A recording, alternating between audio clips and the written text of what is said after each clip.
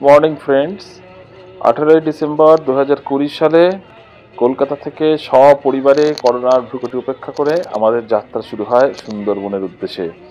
আসুন আমার সঙ্গে দেখে নিন সুন্দরবনের দ্বীপগুলিতে সেখানে কি কি দেখার আছে বা কোন জিনিসগুলোতে জোর দিতে হবে। আর আমি এই ভিডিওর শেষের দিকে একেবারে বলে দেবো যে এই ধরনের ভ্রমণকে আরও আকর্ষণীয় করে তোলার জন্য কি কি টুকিটাকে সরঞ্জাম নেওয়া দরকার আশা করি আপনাদের ভিডিওটি ভালো লাগবে। চলুন দেখা যাক এই জায়গাটা হলো হলো গদখালির ফেরিঘাট। সকাল আটটার সময় আমাদের যাত্রা শুরু হয়েছিল কলকাতা থেকে। এখন এসেছি গদখালিতে ঠিক বারোটা বাজে। একটু ট্রাফিক জ্যাম ছিল। আদারওয়াইজ আসতে কোনো অসুবিধা হয়নি। দেখা যাক সামনে কি অপেক্ষা করছে। ফেরিঘাটে এলেই চোখে পড়বে সারি সারি লঞ্চ। আর জেটিটা ছোট আর বড্ড ভিড়, কিন্তু একটু পা সামলে লঞ্চে একবার উঠে পড়লে মুক্তির স্বাদ। তারপর দেখবেন যে ওরা ডাবের জল দিয়ে আপনাকে অভ্যর্থনা জানাবে। একটু দূরেই চোখ মেললে দেখা যায় নদীর বুকের ওপর বয়ে চলেছে সারি সারি লঞ্চ। এখন আমরা যাচ্ছি গদকালি থেকে বিদ্যাধরী নদী পেরিয়ে গোসাবার দিকে। গোসাবা ফেরিঘাট এই ঘাট থেকে নেমে ডান হাতে কিছু দূর চললেই বাঁ দিকে চোখে পড়বে ইতিহাস প্রসিদ্ধ বেকন বাংলো। দূর থেকে দেখা এক ঝলকে বেকন বাংলো। রবীন্দ্রনাথের প্রতিকৃতি দেখা যাচ্ছে আর বাংলোটিকেও। এই বেকন বাংলোতেই হ্যামিল্টন সাহেবের আহ্বানে উনিশশো বত্রিশ সালের তিরিশ এবং একত্রিশ ডিসেম্বর বিশ্বকবি রবীন্দ্রনাথ ঠাকুর দুই দিন অবস্থান করেছিলেন। বেকন বাংলো দেখার পরেই আমাদের পরবর্তী গন্তব্য ছিল হ্যামিল্টন সাহেবের বাংলো। কিন্তু সেই বাংলো আজ বন্ধ রয়েছে। আমরা পায়ে পায়ে চলে এলাম আবার গোছাকা ফেরিঘাটে। ওই আসছে মিঠু মাঝির লঞ্চ আমাদেরকে নিয়ে পরবর্তী গন্তব্যে যাওয়ার জন্য। একটু পরেই লঞ্চে শুরু হলো মধ্যাহ্ন ভোজন। ভাত, ডাল কুড়কুড়ে আলু ভাজা, মিক্সড ভেজ পার্শে চিংড়ি, চাটনি, পাঁপড়। আর কি চাই? লঞ্চ এগিয়ে চলেছে বিদ্যাধরের বুক চিরে। জলে সূর্যের প্রতিফলন। ডান দিকে ম্যানগ্রোভ ফরেস্ট আর বাঁ দিকে এখনও জনপদ দেখা যাচ্ছে। একটু পরেই সূর্য ঢলে পড়ল পশ্চিম দিগন্তে। ম্যানগ্রোভের জঙ্গল ক্রমশ ঘন হয়ে উঠছে। তেমনি অন্ধকার গভীরতর হচ্ছে। এর কিছুক্ষণ পরেই লঞ্চের মধ্যেই শুরু হয়ে গেল বাউল গান।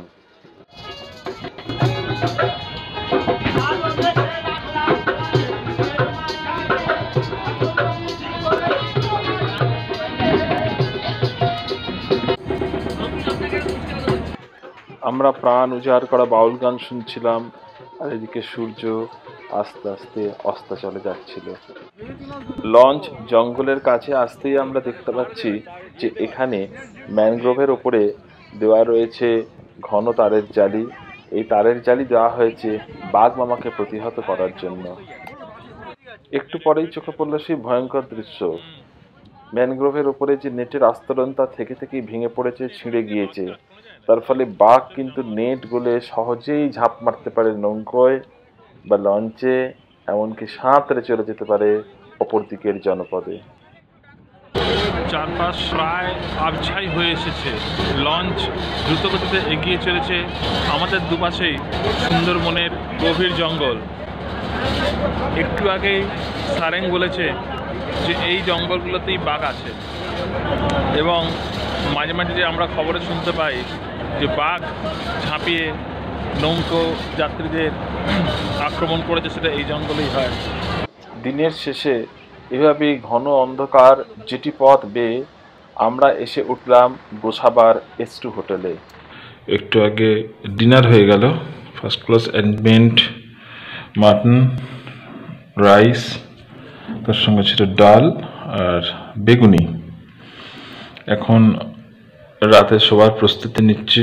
ঘরগুলো যথেষ্ট বড়। ওয়াশরুম একদম ঠিকঠাক জলের ব্যবস্থা আছে আচ্ছা আচ্ছা ভালোই লাগছে। গুড মর্নিং উনিশ তারিখ সকালবেলা আমরা দাঁড়িয়ে রয়েছি এসরি হোটেলের ব্যালকনিতে। চারিদিকে সবুজের সমারোহ, তরতাজা বাতাস, পাখির কিচিরমিচির ডাক, ভারী সুন্দর পরিবেশ, একেবারে যাকে বলে মাইন্ড ব্লোয়িং অ্যাটমসফিয়ার দেখা যাক আজকের দিনে সুন্দরবন আমাদের জন্য কি সারপ্রাইজ নিয়ে অপেক্ষা করে আছে? আপনি যদি সুন্দরবনে শীতের দিকে আসেন, অবশ্যই খেজুর রস খেতে ভুলবেন না। এখন সময় প্রাতভ্রমণের। সুন্দরবনের এই প্রত্যন্ত গ্রামাঞ্চলে গোসাবা ব্লকে ভারী সুন্দর রাস্তাঘাট, ঝাঁ চকচকে দোকানপাট, আপনার মন ভরে যাবেই যাবে। একটু পরেই শুরু হবে আমাদের যাত্রা। এই সিঁড়ি বেয়েই আমরা আস্তে আস্তে এগিয়ে আসব। লঞ্চে লঞ্চে ব্রেকফাস্টের আয়োজন হয়েছে। লুচি, আলুর দম, মিষ্টান্ন, দারুণ অ্যারেঞ্জমেন্ট এবং তার সঙ্গে সঙ্গে আজকের দিনটার বৈশিষ্ট্য হলো অত্যন্ত চড়া, ঝলমলে সূর্যের আলো। বিদ্যাধরের বুকে সূর্যের আলো প্রতিফলিত হয়ে নদীর জল চকচক করছে। চারিপাশ একদম স্বচ্ছ, দারুণ অভিজ্ঞতা। আর একটু দেখুন, নিচের তলায় আছে শোয়ার বন্দোবস্ত। এই কেবিনগুলি ছোট ছোট, কিন্তু দুজনের জন্য যথেষ্ট জায়গা রয়েছে। আর জানলা দিয়ে দেখা যাচ্ছে টল টলে বিদ্যাধরীর জল। এদিকে লঞ্চের উপর তলায় তখন রীতিমতো উৎসবের মেজাজ। ঝলমলে রোদ্দুর, শীতের তীব্র কামড় অনেকেই বাচ্চারা বিশেষ করে খুবই জবুথবু অবস্থা, কিন্তু আনন্দ ফুর্তির কোনো অভাব নেই। ইলেকট্রিফাইং অ্যাটমসফিয়ারের মধ্যে দিয়ে লঞ্চ এগিয়ে চলছে সুন্দরবনের কোর এরিয়ার দিকে। এখন আমরা এগিয়ে যাচ্ছি কোর এরিয়ার মধ্যে দিয়ে। দেখুন, এখানে আর ম্যানগ্রোভ অরণ্যের সামনে কোনো তারের জাল নেই। আর একটু পরেই আমাদের চোখে পড়ল একদল বাঁদর একদম জঙ্গল থেকে বেরিয়ে এসেছে নদীর চরে, খুব সম্ভবত শীতের রোদ পোয়ানোর জন্য। বিদ্যাধরী নদীতে জোয়ার ভাটা হয়। এখন জোয়ারের সময়, তাই গাছের কাণ্ডগুলি সবই জলের তলায়। হঠাৎ দেখলে মনে হবে, এগুলি যেন জল থেকেই জন্মেছে, কিন্তু ভাটার সময় এই কাণ্ডগুলি আবার উন্মুক্ত হয়ে পড়ে। এখানে চোখে পড়ছে এক টানা সুন্দরী গাছের জঙ্গল, যার থেকে এই অরণ্যের নাম সুন্দরবন। শীতের হিমেল হাওয়ার মধ্য দিয়ে আমরা এগিয়ে চলেছি। বড়রা তো বটেই, বাচ্চারাও যুবতহু। তবু তাদের মধ্যেও ছবি তোলার আর ফটোশ্যুটের কোনো উৎসাহের অভাব লক্ষ্য করলাম না। ইতিমধ্যে আরেক খুদে পালোয়ানের হাতে ন্যস্ত হয়েছে লঞ্চ এগিয়ে নিয়ে যাওয়ার দায়িত্ব। এদিকে হঠাৎ কানে এলো এক উটকো বিপদ। মাঝ নদীতে খারাপ হয়ে গেল আমাদের লঞ্চ আর আমাদের ক্ষুধে মাঝির দল। সেই বিকল হয়ে যার লঞ্চকে সারানোর জন্য মরিয়া প্রয়াস চালাতে লাগল। এখন আমরা একদম জঙ্গলের ধার বরাবর এগিয়ে চলেছি। বাঘের দেখা পাওয়া ভাগ্যের ব্যাপার। কিন্তু একথা বলতেই হবে যে বাঘের নাকের ডগা দিয়ে লঞ্চ করে ঘুরে বেড়ানোর রোমাঞ্চই আলাদা। এখানে আবার গাছের শেকড়গুলি একে অপরের সঙ্গে সাপের মতো জড়াজড়ি করে রয়েছে। অবশেষে আমাদের মাঝিদের সব চেষ্টা ব্যর্থ করে লঞ্চের স্টার্ট একেবারেই বন্ধ হলো। লঞ্চকে কোনো মতে দাঁড় করানো হলো। এক নাম না জানা গ্রামে আমরাও একটু সুন্দরবনের মাটিতে পা রাখলাম। জঙ্গলে পা রাখতেই মাঝিদের বিধিবদ্ধ সতর্কীকরণ। এখানকার জলে কুমির আছে, কেউই জলের ধারে যাবেন না। বেশ কিছুক্ষণ পরে লঞ্চ আবার চালু হলো। আমরা চললাম জল জঙ্গলের পথ পেরিয়ে। আমার সম্প্রতি লব্ধ স্থানীয় জ্ঞান থেকে জানতে পেরেছি যে সুন্দরবনের প্রসিদ্ধ রয়্যাল বেঙ্গল টাইগার প্রায় তিন মিটার পর্যন্ত লম্বায় হয় এবং সর্বশেষ ব্যাঘ্র সুমারি অনুযায়ী এই জঙ্গলে বিরানব্বইটি বাঘ আছে। তাই যখনই আমরা সুযোগ পেয়েছি, জঙ্গলের দিকে কড়া নজর রেখেছি যদি তার দেখা পাওয়া যায়। ইতিমধ্যেই আমরা উপস্থিত হলাম সুধন্য খালিতে এখানেই আছে ওয়াচ টাওয়ার। ওয়াচ টাওয়ারে উঠতেই দেখা মিলল একটি হরিণের। আমি চেষ্টা করলাম জুম করে। হরিণটিকে। ক্যামেরায় ধরার কিন্তু সেই প্রচেষ্টা খুব সফল হয়েছে বলা যাবে না। তবে এখানকার পরিবেশ আপনার ভালো লাগবেই লাগবে। যে পুকুরটি দেখতে পাচ্ছেন এটি হচ্ছে এখানে মিষ্টি জলের উৎস। বন্য জন্তুরা এখানেই জল খেতে আসে। আর এখন চতুর্দিকে সবুজের সমারোহ, তার মধ্যে ঠান্ডা বাতাস, ওই দেখুন একটি বানর, কি আনন্দে দোল খাচ্ছে গাছের ডালে বসে। লঞ্চে ফেরত যাওয়ার আগে প্রণাম জানালাম বনবিবিকে, সুন্দরবনের আরাধ্যা দেবী। ওয়াচ টাওয়ারের আশপাশে লবণাম্ব কিছু গাছের পরিচয়পত্র রয়েছে, এই ছবিতে দেখানো হচ্ছে কাঁকড়া গাছ। সুন্দরী গাছ, এই গাছের নামেই এই অরণ্যের নাম সুন্দরবন। পশুর গাছ, খলসি গাছ পেয়ারা বাইন গাছ গাছগাছড়ার ব্যাপারে আমার জ্ঞান অতি সীমিত। তবু এই গাছের নামগুলি দেখলাম এবং স্মৃতিতে ধরে রাখার চেষ্টাও করলাম। সুধন্যখালি থেকে আবার লঞ্চে ওঠার পালা। সুন্দরবনের এই জঙ্গলে প্রায় দুশো কুড়ি রকম প্রজাতির পাখি ছাড়াও রয়েছে বাঘ, ঘড়িয়াল কুমির, বন্য শুয়োর, হরিণ এবং বানরের মতো একাধিক প্রাণী। এখানে থেকে থেকেই প্রশস্ত নদীপথের পাশ থেকে বেরিয়ে গেছে সরু সরু খাড়ি। এই খাড়ি পথেই মৌয়ালরা যায় মধু সংগ্রহ করতে গভীর জঙ্গলে এবং বাঘের শিকার হয়। প্রত্যেক বছর সুন্দরবন অঞ্চলে ছাব্বিশ থেকে আঠাশ জন মৌহাল বা মাঝি বাঘের আক্রমণের শিকার হয় এবং মারা যায়।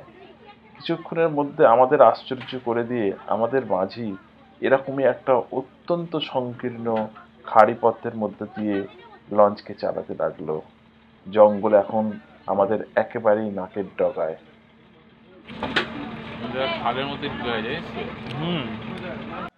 দূর থেকে দেখলে মনে হয় একই রকমের গাছের সারি। খুঁটিয়ে দেখলে বোঝা যায় কত ভূপ্রাকৃতিক বৈচিত্র্য এবং গাছের কত রকম প্রকারভেদ তাদের কত রকম রং, কত রকম আকৃতি। এই দেখতে দেখতেই আস্তে আস্তে দেখতে লাগলাম সূর্য চলে এসেছে পশ্চিম দিগন্তে এবং আমাদের আজকের যাত্রাও প্রায় সমাপ্তির পথে অন্ধকার নেমে এলো। আজকে একটি নতুন লঞ্চে আমরা যাচ্ছিলাম। এই লঞ্চের নিচের দিকটি অত্যন্ত সুসজ্জিত, ভালো নরম বিছানা কম্বল, বেশ আরামদায়ক ব্যবস্থাপনা। এই লঞ্চে করেই আমাদের ফেরিঘাটে ছেড়ে দেওয়া হলো। পাখিরালা ঘাটে একটি জমজমাট বাজার চোখে পড়ল আর বাজার দেখেই টিমের সকলেই ব্যস্ত হয়ে পড়ল কেনাকাটায়। দরকার থাক বা না থাক। এরপরেই হোটেলে হলো সাঁওতালি নৃত্যের একটি অত্যন্ত মনোজ্ঞ পরিবেশনা।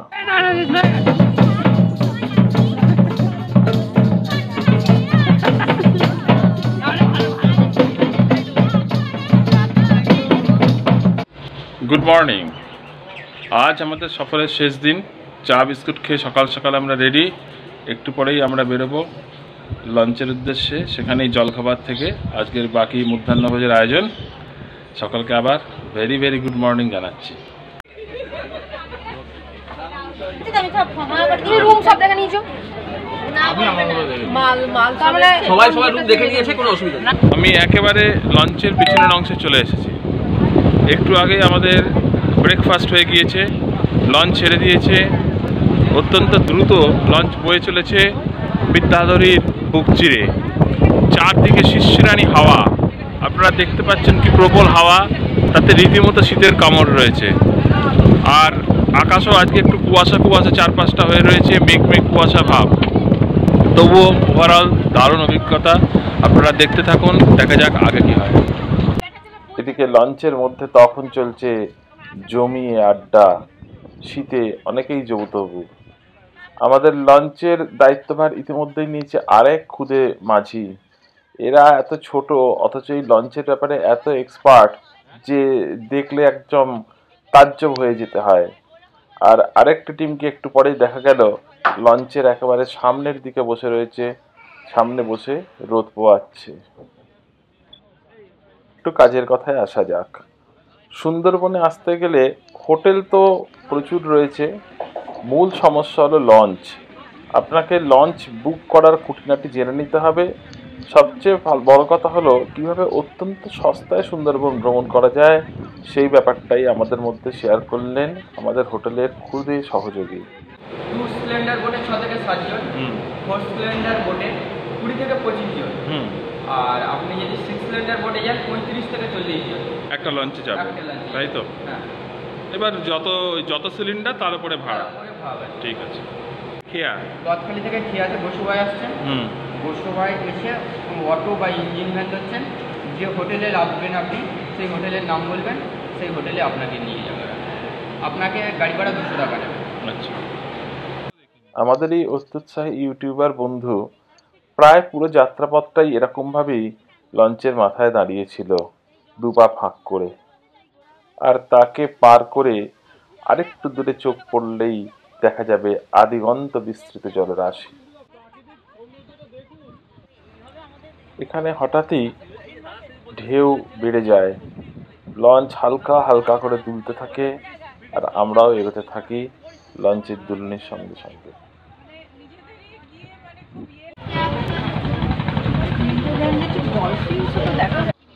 এখানে পাড়ের দিকে তাকালে দেখা যায় আমফান ঝড়ে ক্ষতিগ্রস্ত গাছ। গাছের কাণ্ডই রয়ে গিয়েছে, কিন্তু পাতাগুলি ঝড়ের প্রবল দাপটে ঝরে গিয়েছে। এবছরেরই কুড়ি মে তারিখে। এখানে জঙ্গলের গা ঘেঁষে রয়েছে পেয়ারা বাইন গাছের সারি। এই গাছগুলোরই একই অবস্থা। আমফান ঝড়ের ফলে শুধু কাণ্ডই পড়ে আছে, পাতার বিন্দুমাত্র অবশিষ্ট নেই। ইতিমধ্যেই আমাদের রসনা তৃপ্তি করার জন্য চলে এলো গরম গরম আমুদে মাছ ভাজা। আসলে আমরা এতক্ষণ যাচ্ছিলাম বাঁ দিক চর বরাবর। এবার বাঁ দিক থেকে খুব সম্ভবত নদী পেরিয়ে উল্টো দিকে ডান দিকে যাচ্ছি। এবং এখানে নদী কতটা চওড়া বোঝা যাবে না, তবে চোখের আন্দাজে বুঝতে পারছি অন্তত পাঁচ কিলোমিটারের বেশি। এই বাঁ দিক থেকে ডান দিকে যাচ্ছি পুরো নদীর বুক চিরে আর এখন ঠিক মাছ নদীতে যাচ্ছি। এখানে ঢেউ যথেষ্ট বেশি পুরো লঞ্চটাই দুলে উঠছে। এই জায়গাটির নাম পঞ্চমুখিনী পাঁচ নদীর সঙ্গম স্থল আমাদের খুদে গাইড আঙুল তুলে দেখিয়ে দিল কোন নদী কোন দিক থেকে বইছে ওই হ্যাঁ। দিকে দুটো নদী আছে। একটা নদীর নাম হলো গাজীখালী একটা নাম হলো পীরখালী। আর আমরা যে নদীটা হয়ে যাচ্ছি ওই নদীটার নাম হলো বিদ্যাধরী। আর সামনে গিয়ে আমরা মাতলায় ঢুকবো। আর ওদিকে চলে আসছে আমাদের হেড়মা হ্যাঁ। মিলছে কোথায়? মেলার জায়গা কোনটা? কোন জায়গাটা? মানে ওটা যে নদীটা হয়ে যাচ্ছি ওই নদীটার নাম হলো ছেড়া মাতলা আচ্ছা কোন দিকটা? সোজা একেবারে। ছোড়া যে নদীটায় যাচ্ছি সেটি হলো ছেঁড়া মাত্রা কুলহীন সীমানাহীন এই আদিগন্ত বিস্তৃত জলরাশির দূরত্ব বঙ্গোপসাগর থেকে মাত্র পঞ্চাশ কিলোমিটার। একটু পরেই আমাদের লঞ্চ চলে এলো। আবার পাড়ের খুব কাছাকাছি স্পষ্ট দেখা যাচ্ছে সুন্দরবনের জঙ্গল। সুন্দর ছোট ছোট গাছ হয়ে রয়েছে। গাছগুলোর নাম আমি পরে জানার চেষ্টা করব, কিন্তু লঞ্চ একদম এই গাছগুলোর পাশ দিয়ে যাচ্ছে। ঝলমলে রোদ, পরিষ্কার, চকচক করছে জল, গাছ নৌকভর্তি লঞ্চ ভর্তি মানুষ হইহল্লা করতে করতে এগিয়ে চলেছি। আমাদের গন্তব্য ঝড়খালি। এখন আমরা এগিয়ে চলেছি মাতলা নদীর ওপর দিয়ে। আমরা এসে পড়েছি ঝড়খালিতে। এটিও একটি ঘাট এবং অবশ্যই দর্শনীয় জায়গা। আর গোসাবা থেকে ঝড়খালি অবধি লঞ্চে বেশ অনেকক্ষণ সময় লেগে গিয়েছিল আসতে। আসার অভিজ্ঞতাটা ছিল রোমাঞ্চে ভরা। এখন দেখা যাক সামনে আমাদের জন্য কি বিচিত্র বিষয় অপেক্ষা করছে। আর এখন আমরা হেঁটে চলেছি ঝড়খালি বাজারের মধ্যে দিয়ে একেবারে জমজমাট বাজার। আর রোদ্দুরটা তো খুব আরামদায়ক খুব আরামদায়ক, কারণ এতক্ষণ ঠান্ডায় প্রায় কাঁপতে কাঁপতে আসতে হয়েছে সকলকে। ঝড়খালিতে আমরা দেখতে চলেছি ফরেস্ট ইকো কনজারভেশন ক্যাম্প এবং আমাদের লঞ্চে মাঝিরাও বলেছেন যে এখানে অবশ্যই আমরা বাঘ এবং কুমিরের দেখা পাবো। দেখা যাক কি অপেক্ষা করছে আমাদের জন্য।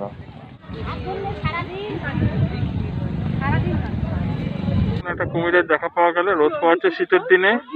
এখানে অনেক বাঘ দেখা যাচ্ছে। মানে অন্তত দুটো এরা ধরে রেখে দিয়েছে ক্যামেরা এত ছোট। ওই দেখা যাচ্ছে ডান দিকে একটু বাড়ায়, বাঘটা নড়ছে পাইচারি করছে। বাঘগুলো মানুষ নিয়ে খুব ইন্টারেস্ট ওদের নেই, যেরম হয়।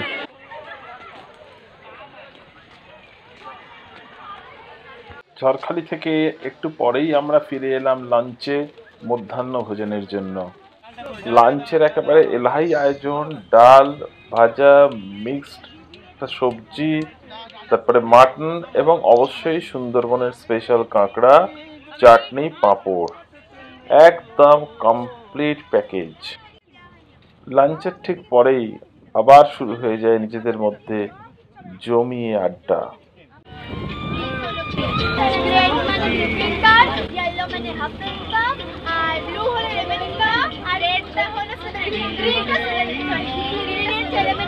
মানে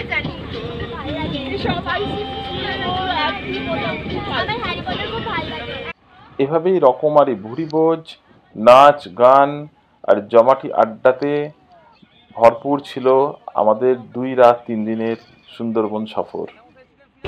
এখন আমরা ঝড়খালি থেকে ফিরে যাচ্ছি গদখালির দিকে। আমাদের সুন্দরবন যাত্রা এবারের মতো এখানে ইতি। কোনো বেড়ানোতেই সমস্ত কিছু অঙ্কের নিয়ম মেনে হয় না। এ বেড়ানোতেও ছোটো ছোটো পরিবর্তন হয়েছে। তবু যা দেখেছি, তা চোখ এবং মনের খোরাকের জন্য যথেষ্ট। আর আর একটা কথা বলি সব কিছু হয়তো একবারে পেয়ে গেলে আর আসার ইচ্ছেটাও মরে যায়। তো তাই আবার আসার ইচ্ছে নেই, এবারে আমরা ফেরার পথ ধরলাম। সুন্দরবন সফর দুর্দান্তভাবে উপভোগ করার জন্য যদি শীতকালে আসেন, সঙ্গে অবশ্যই শীতের পোশাক রাখুন। মাংকি টুপি, মাফলার কানগুলি ঢাকার জন্য কিছু গ্লাভস একটু উলেন মোজা থাকলেও ভালো, কারণ ঠান্ডা এখানে বেশ কনকনে। আর চেষ্টা করুন উইকডেজ অ্যাভয়েড উইকডেজেই আসার উইকেন্ডে এখানে এত ভিড় যে অ্যানিম্যাল মুভমেন্ট চট করে চোখে পড়বে না। সঙ্গে রাখুন একটি দূরবীন, যাতে দূর থেকেও আপনি অ্যানিমাল মুভমেন্ট বুঝতে পারেন। আর ভালো ক্যামেরা এরপর একটু সদিচ্ছা থাকুক ছ সাতজনের টিম নিয়ে আসতে পারেন। বা তিরিশ জন পঁয়ত্রিশ জনের টিম নিয়েও আসতে পারেন। তবে আমার সাজেশন ছোট ছোট টিমে ভেঙে আসুন। এতে বেশি উপভোগ্য হবে অ্যানিমাল মুভমেন্ট আরও ভালো দেখতে পাবেন। অবশ্যই সঙ্গে রাখবেন আধার কার্ড, ভোটার কার্ডের মতো কোনো সচিত্র পরিচয়পত্র। কারণ সজনে খালিতে আপনাদের কোর এরিয়ায় ঢোকার জন্য পারমিটের ব্যবস্থা করতে হবে। লঞ্চের যিনি মাঝি আছেন, তারাই সাধারণত এই দায়িত্বটি পালন করে থাকেন। আর সুন্দরবন থেকে ফেরত যাওয়ার সময় অবশ্যই সঙ্গে নেবেন সুন্দরবনের বিখ্যাত মধু। আশা করি ভিডিওটি আপনাদের ভালো লেগেছে। ধন্যবাদ, নমস্কার।